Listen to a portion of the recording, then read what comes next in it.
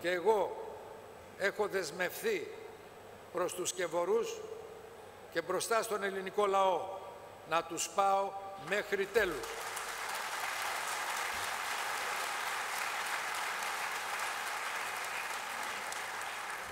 Άκουσα προχθές τον κύριο Τσίπρα.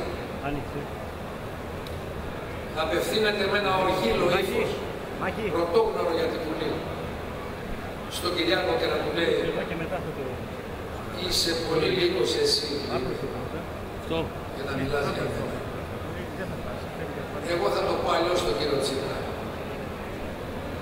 Εσύ είσαι πολύ λίγος για να επιβάλλεις σε όλους εμάς να λέμε πως δίπλα μας έχουμε μια άλλη, μια δεύτερη Μακεδονία, όταν η Μακεδονία είναι μία και είναι ελληνική.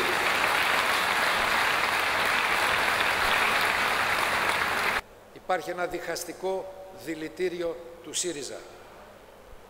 Υπάρχουν συκοφαντικές επιθέσεις. Υπάρχει ένα ύφος κουτσαβάκικο. Αλλά εμείς θα είμαστε όλοι ενωμένοι για να τους κερδίσουμε. Για να βρούμε τη θέση που πρέπει στην Ευρώπη.